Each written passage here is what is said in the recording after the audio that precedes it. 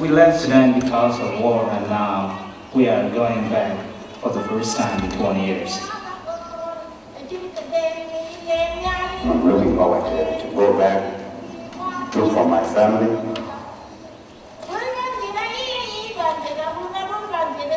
I'm excited to go back and help the people that I have been dreaming of helping.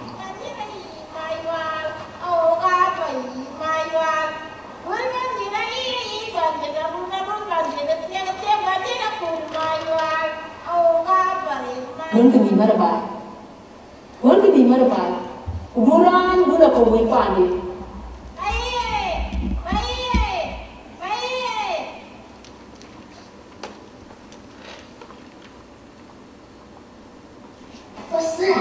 That's the house that Chris lived in when he was just a little bit over, when he was Isabella's age. It didn't take me long to feel like these are my family. It just felt like I'm in right hand and with the right people. I'm one of them. Then he lived in one of his houses. And those guys come? And, and, and then all of his friends lived in all of these And little those, and houses. then those guys come? What guys, honey?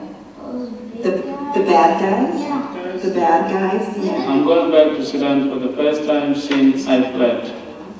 I'm trying to go and look for my parent that I've uh, been separated for a long time. It's been 15 years. I had a dream that we get united and it's exciting when you dream about it, but when you wake up and realize that whatever you were dreaming is not there, then, but you keep it in you and you hope for it. If we're lucky enough to find them, then I will have two parents. I'm gonna have this family back in Africa, I'm gonna have this family in America. I'll be his spoiled child in between them. So what did you make your house out of though? You wanna build one with me outside? I don't know. Out of what? The mud? Yeah, no mud. No mud. How come? There are mud outside. I don't want dirty. You don't?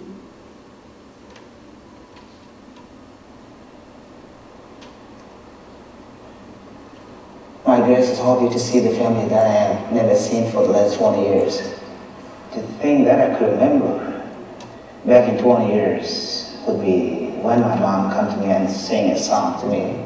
A song my mom used to sing very good songs.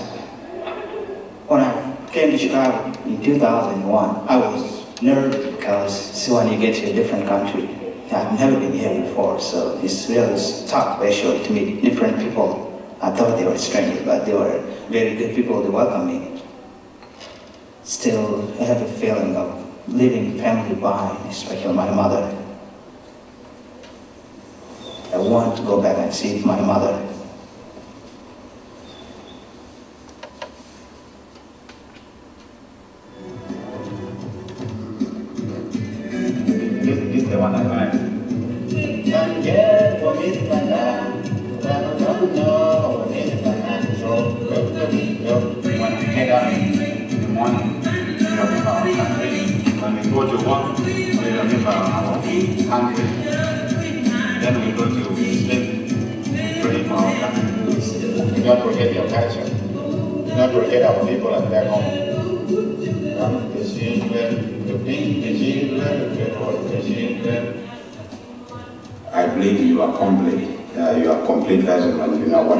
Either one of them or even two of them might be alive, and that kind of keeping hope is really uh, keeping me going.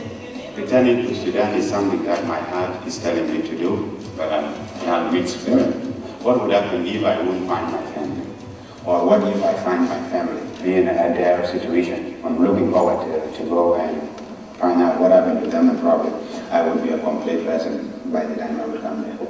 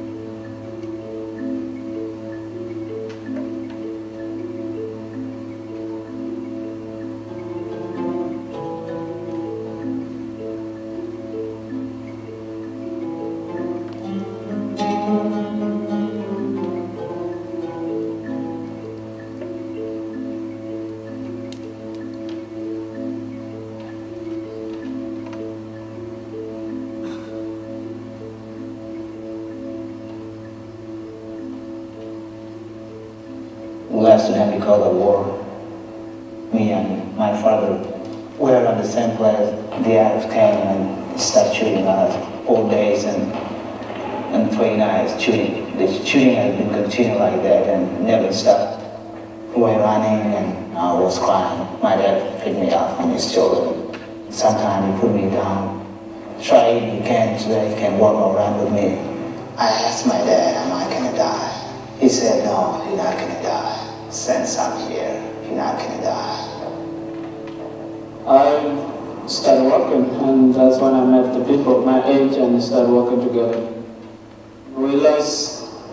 lives, many age mates, many friends. We left them behind because they were unable to walk. Their feet were swollen and just sit down there and said, I can't make it. Those vultures will just fly down and just take their eyes off me.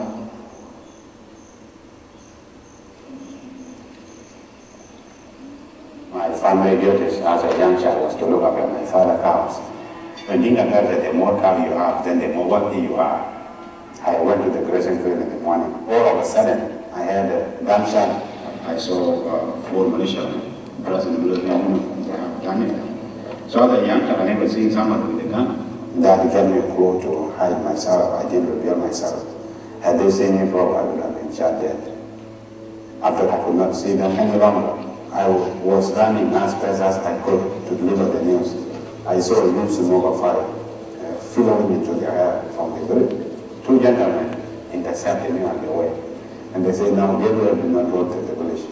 There is fighting. Come and go with us. I felt that I had to meet with my dad and tell him what happened because I had a responsibility of looking at the house. So I was not listening to them. They said, wow, this is a little boy. So the best solution for them was to get hold of me and put me on their back. And while this gentleman tried to bend down to grab hold of me, he was shot dead in front of me.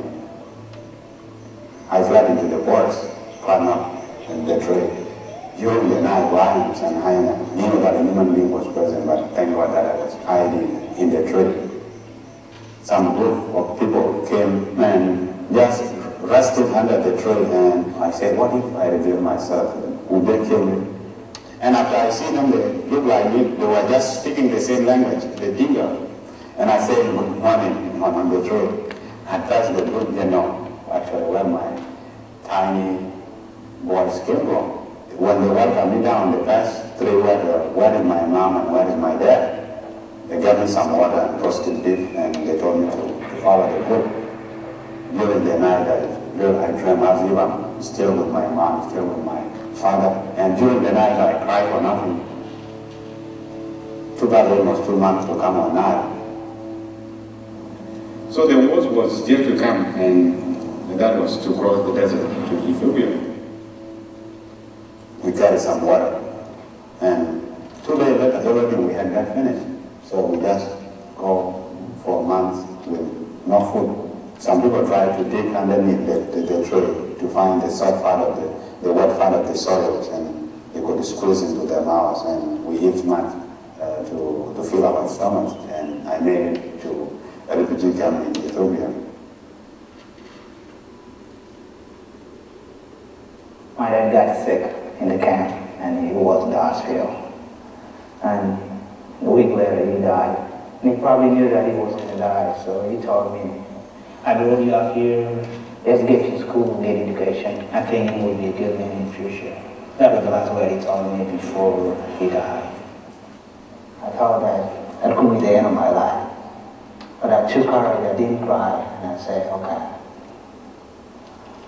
Um, I will see what happens next. The war broke out in Ethiopia 1991. We were chased out the camp at gunpoint. They forced us to the river Gilo. Many of us doesn't know how to swim, and many got shot by the riverbank. And if you're lucky, you cross. If you're not, then those are the ones who remain in the river. We gather at the on the other side of the river, and then we start walking. We come to Sudan, and our enemies start bombing us. We only go one per person for mine not to, to blow us up. This little boy was sitting next to is dead now. So this boy picked him up and we take time to carry the boy. And then the, this guy in front of the guy who was carrying the boy, you know, pulled the tree and let it go. So the tree hit the boy.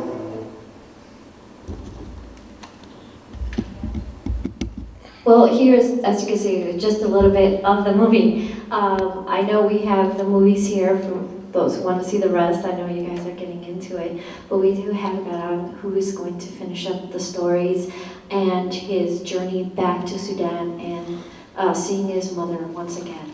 Okay? Again, let's give him another warm round of applause.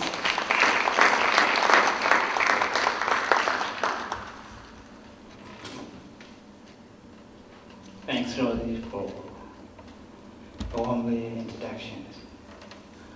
Uh, first of all, I I just want to thank Waubonsee Community College for inviting me to come and present Building Up. I'm very thankful for that. For those of you who haven't heard my name, my name is Samuel. My name is Garang Mayoul.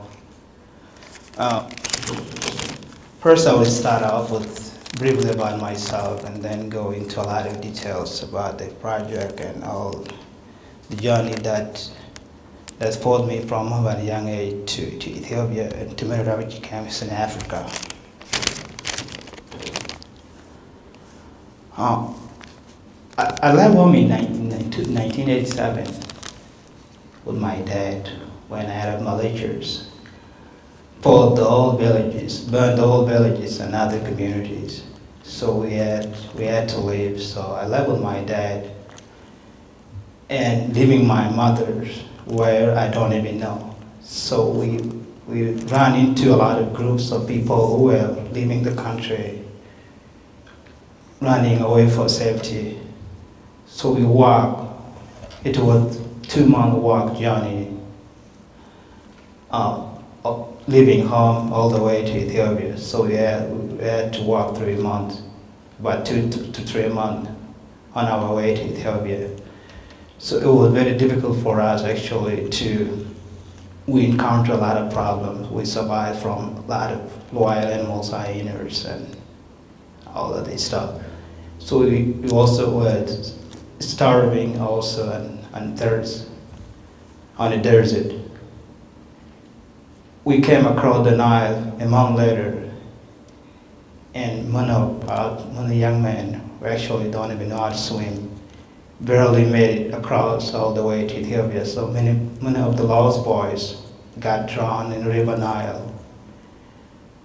And I was lucky enough because I wasn't my father. So we was using a bond of canoe that actually got me across the Nile and I was, was able to cross, to make it across all the way through.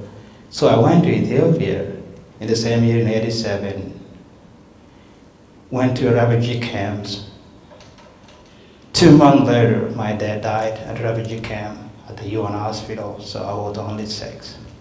So I had to go to, to care where I lived there for about four years in Ethiopia in refugee camps. In 1991, the rebel overthrown the government of Ethiopia, so we had to leave the country, all the refugees. The rebels were clearing all the refugee camps, so we had to leave the country in 1981, 1991 we came to, to Sudan border, a town called Pachala. And we, we lived there for about two months again. The Antonov came and we bumped again. So we had to leave the, that town. So we came to, eventually came to Kenya in, in, 19, 1992, where we lived there for nine years in refugee camp. So we went to, I went to school there to about the lost boys in refugee camps. I was at the foster care, so we, we went, we go to school and the pastor care cooked for us and UN paid them. So I was in refugee camp, they're going to school and the life in refugee camp was not good. So we had, we had to have only one meal a day that we can survive. There were over 80,000 refugee camps. I mean, 80,000 of people in refugee camps, especially Sudanese and other nationalities in the camps. So camp was overcrowded, many different nationalities came in, in Africa from different corner of the world were refugees in the camps.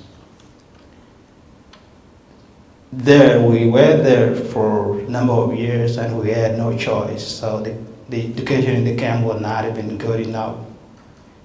So people were dying from malaria, especially Kenya. We are in northern Kenya, very dry, where we, we don't have access to the water. So they have the tap, the hand tap that they, you want ahead, and we will usually run out of water. Water shortages became a problem apart from even food. So we ran into a lot of problems in the camp. In 2000, UN, UNHCR decided and they talked with the US government that they decided to bring these young men who spent most of their half of their life in refugee camps. So, so they began the process and we were asked to write our life stories. Who will come here and so we wrote our life story and we're all you have to be interviewed and when you pass you can you are ready you have to go a seal of a, medical checkup to make sure that you are okay the, um, to come here so i passed the interview in 2001 and i was ready to apply so to leave the camp with other guys it was not not everybody that passed the interview but most of the people failed the, the interview and they didn't make it here. So I came to Chicago in 2001, at the time that I left the camp, and I was stationed in Elgin. When I first came, I was lucky enough, so I got some volunteer house family who actually took care of me at that time. So I with them for about, about a month and a half. So they they took care of me. They cooked for me. I eat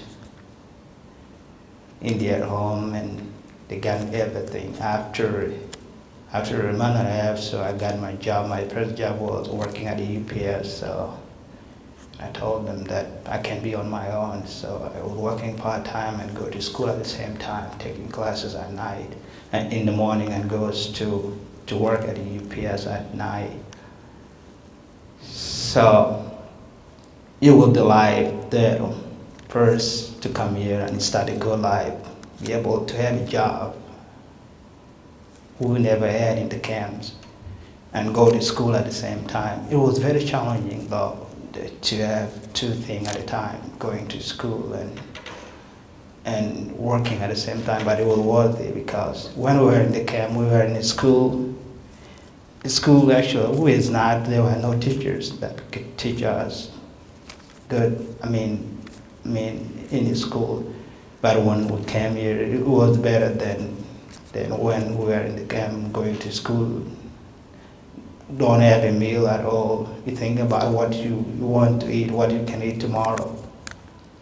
But it was it was good that we came here and and we we had school. Of us got to school and work at the same time.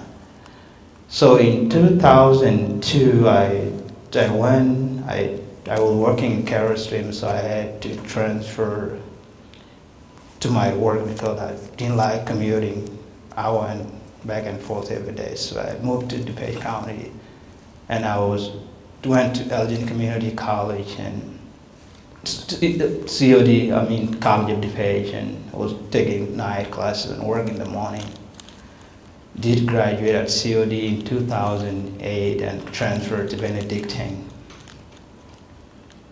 Benedict University. I'm now a senior, so will be, I'll get finished actually early next year. So in 2007, I decided, since I have seen my parents for many years, 20 years, so I decided to go back and see my family. So we decided that since we are going home for the first time, look our family, which we don't even know where they are.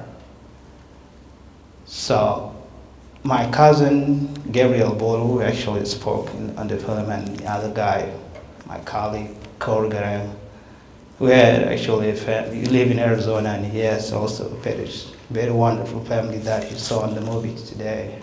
That the family that holds him for a number of years and he still living with them right now, so it's very lucky.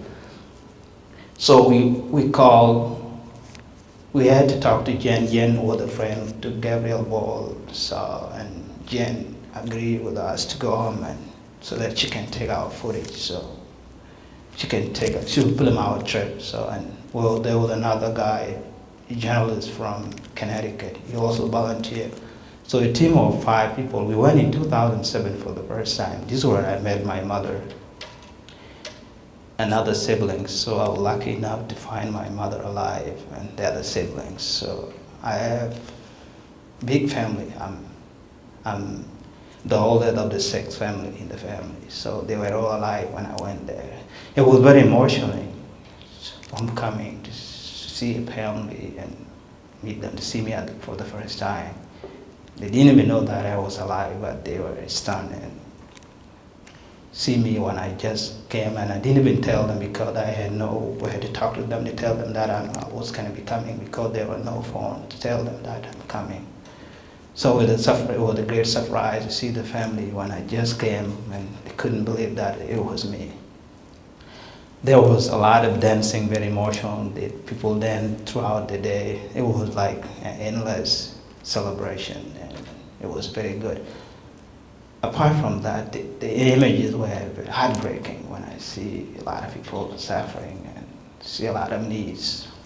It was very emotional. So uh, it wasn't it was very tough to deal with that situation, but um, I, I can't really imagine how like it be to see a family that you haven't met and see them alive and they're struggling.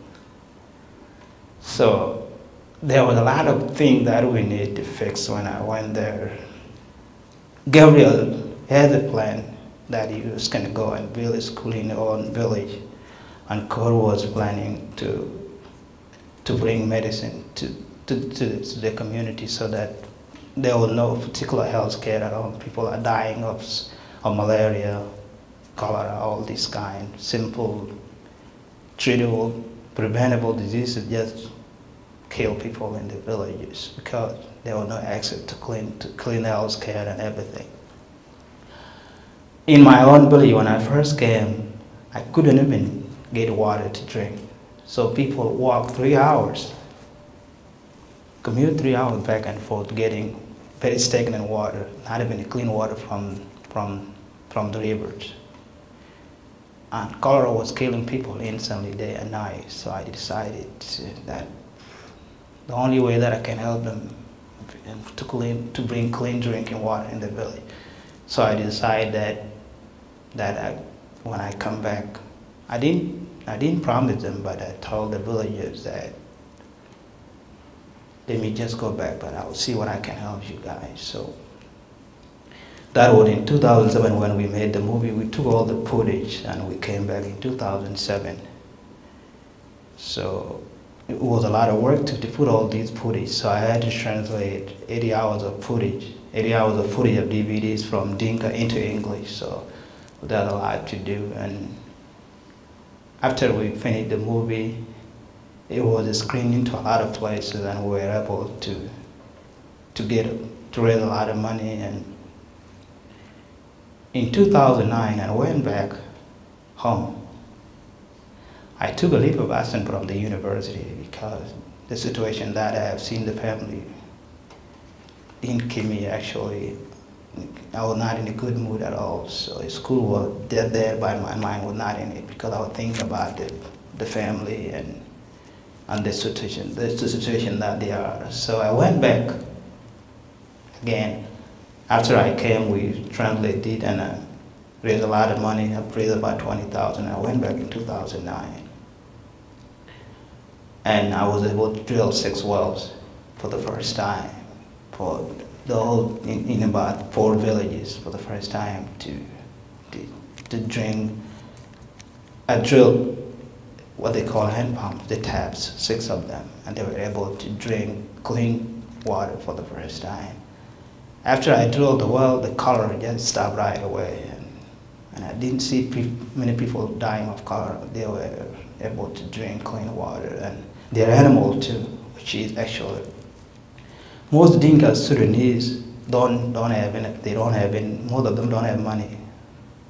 Their animals are their source of income. So when animals die during the summer, when when rivers get dried up and they don't have water, their animal dies and they don't have anything to eat. So would this, that mean the villagers run out of food because they survive from milk of cow and and cow they can they can either kill the cow from meat and they can survive.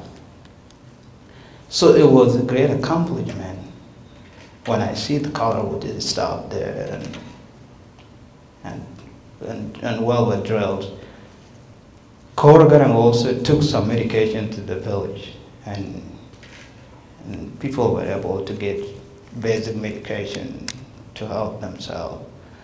So Koor is now still raising money to, to help to help Pan Clinic that was built in 2000 in 2009 and and Gabriel Bol Deng built a school in his own village. And that school got finished this year early this year. And is now trying to get fund and open a school and get teacher training so that kid can get teachers and be able to go to a new school in his own village. So three of us were doing different projects, but they're all in one umbrella. If people don't have a school, if people, the, the only way that we can help people is to get educated so that they can get, get great education and get a better life and be able to make good money. Also, if kids go to school and they don't have clean drinking water, they can still get, they can still die from cholera. A lot of, a lot of diseases like stagnant water that they've been drinking. Also, kids need also health, health care. They need medicine when it gets sick. You should be able to get medicine. So that what three of us did. So we are still doing that, and and and most of us, Gabriel finished his degree about two years ago, and he's also now traveling in, different corners of the country, raising money to fund his school, and and Koor also going to school and also still raising money for for health care to, to fund that clinic that was built. So uh, to come to another thing is um, the referendum. The peace was signed in 2005 in Sudan. That ended a 21 year of civil war in Sudan. And last this year, February, Southern Sudan were able to vote for a referendum, and they voted overwhelmingly by 98.5% that in favor of suffrage, independent South. So South Sudan will be a independent country in July 9 this summer. And they still have what they call interim period to do transition government between the North and the South. So they're still doing that, but the focus is now to, to build a new country, a newborn country in the southern Sudan. We even bought here in Chicago, I bought it for that we have is a place in Chicago where you can go and board if you're a Sudanese. So most of us just went there and we are really, we are really excited about the result when we saw the result.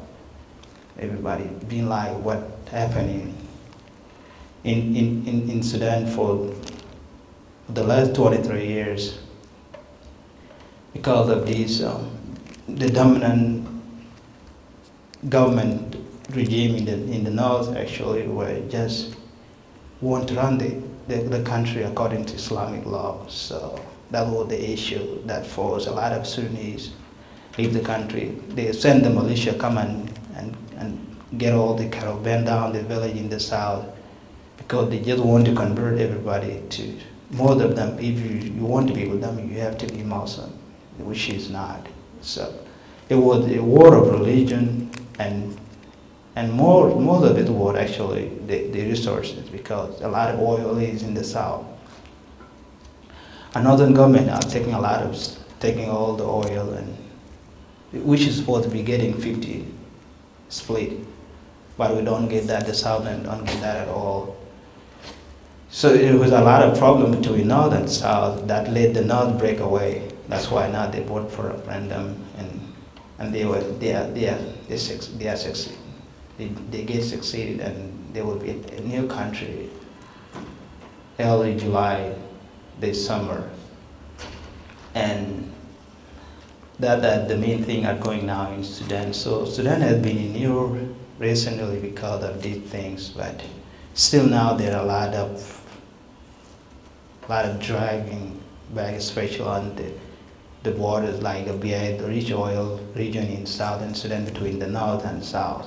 This is where they have like 80% of the oil, and that place become a big problem now between two governments, the north and the south, because of the oil. Eh, People are working on it, but it seems to be impossible. But the PC CFA is guiding them, the one they signed in 2005. They have to work with that, and they need a lot of a lot of help from international community, especially the U.S. and and UN, and also the the so to get help with this. So it's a complicated situation, but that one you need a lot of help from corner, I mean, international communities and the other other other places around the world to help with these um, um, peace process. So it's gonna be it's gonna be a little bit hard, but people out there, so Sudan are tired of this and and they are willing to, to manage themselves, to govern themselves, to be a separate country. And we support that a lot because it is because of this war, war of no reason, killing people and people just hated each other, that led us actually into many refugee camps and, and that the one led by two million people dead now and, and thousand, and four, about four million displaced in different, in, in, in, in different refugee camps in Africa and even here. So to come back about the people would wonder why we call lost boys. So to come into that, and I would say I'm a former lost boys. I'm not a lost boys anymore. I used to be a lost boy. I'm a former lost boy. They call us the lost boy because they lost from our parents. So that's a nickname that gave to us when we when we were in the camp and come here because we are people who lost from from our parents that, that call us the lost boys. So this is how the lost boys become a title to, to, to many young men who came to America. So we get that name because we lost from our parents. But I was fortunate enough to find my family, and I would say I'm a former lost boy. So of Sudan, but that's the title. So we, we've been called we've been called lost boys we lost from our parents. Um,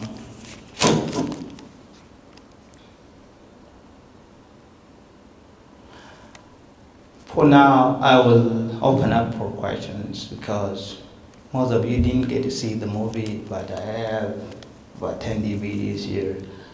They are available for $20 and all the proceeds are going to the water project. And if you're interested, you can get one up here. And, and I will keep a lot of time for questions if you guys have questions a personal question, question about the movie, about the projects that we are doing, about anything, I'm ready to answer.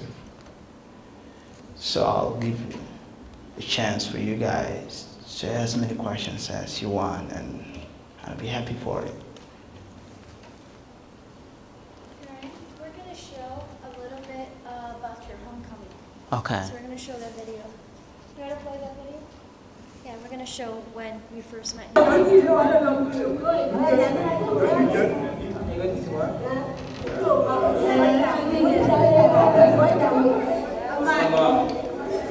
My mother.